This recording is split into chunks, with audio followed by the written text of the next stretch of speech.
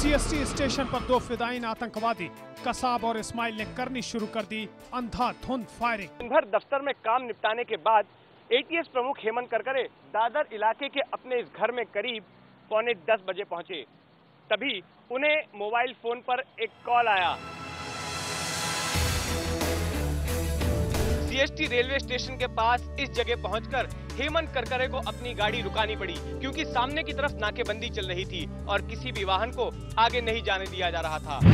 कुछ याद भी कर लो, जो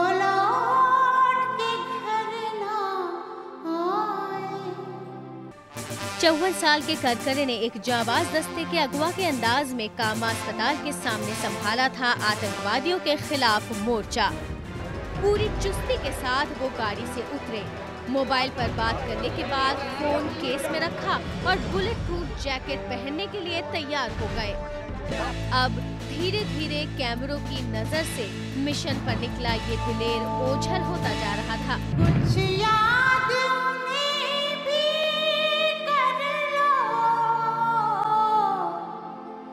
जो